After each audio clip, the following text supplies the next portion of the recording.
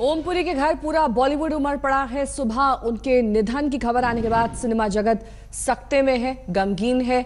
जाने माने फ़िल्म अभिनेता, निर्देशक और तमाम बॉलीवुड से जुड़ी हस्तियाँ उनके घर पर पहुँच रही हैं संवेदना व्यक्त करने के लिए। आज शाम लगभग छह बजे ओमपुरी का अंतिम संस्कार किया जाएगा। शराब की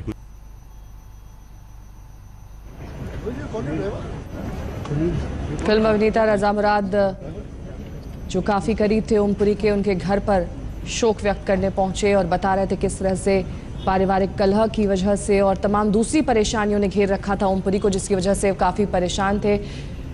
गोविंद नीलानी भी उनके घर पर पहुँचे शोक व्यक्त करने के लिए और पूरा का पूरा फ़िल्म जगत जो है इस वक्त सख्ते में है।